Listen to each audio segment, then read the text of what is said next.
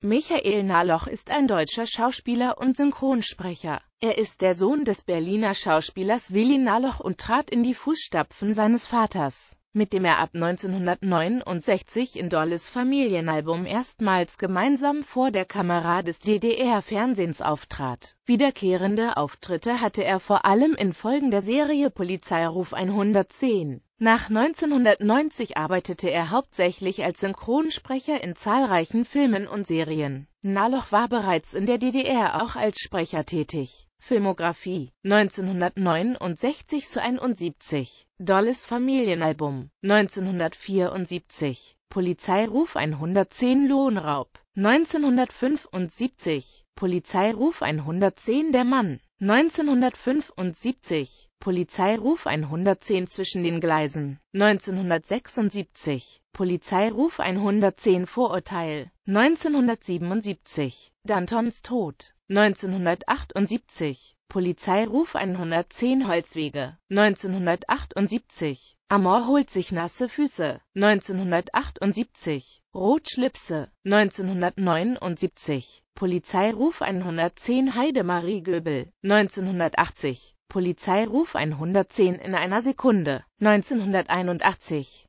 Polizeiruf 110 Der Schweigsame 1983 Polizeiruf 110 Schnelles Geld 1986 Jan auf der Zille 1989 Polizeiruf 110 Drei Flaschen Tokaja Hörspiele 1960 Anna und Friedrich Schlotterbeck an der Fernverkehrsstraße 106 Regie Theodor Popp 1969 Franz Freitag Der Egoist Regie Gerd Andrea 1973 Bertolt Brecht Das Leben des Galilei Regie Fritz Göhler 1974 Günter Spranger zur Fahndung ausgeschrieben. Sabine Regie Albrecht Surkau 1974 Hans-Ulrich Lüdemann Blümlein ist gegangen Regie Fritz Göhler 1979 Wiebke Martin Die Bürgen Regie Joachim Staritz 1979 Horst Behrensmeier Lösegeld Regie Hans Knötsch 1979 Joachim Goll Der Hund von Rackerswil Regie Werner Grunow 1980 Norbert Klein Alles ist anders Regie Wolfgang Brunnecker 1980 Otto Malang Wellermann macht's möglich Hans Knötsch 1981 Reinhard Griebner Schlachtenbummler Regie Joachim Gürtner 1981 Peter Gauglitz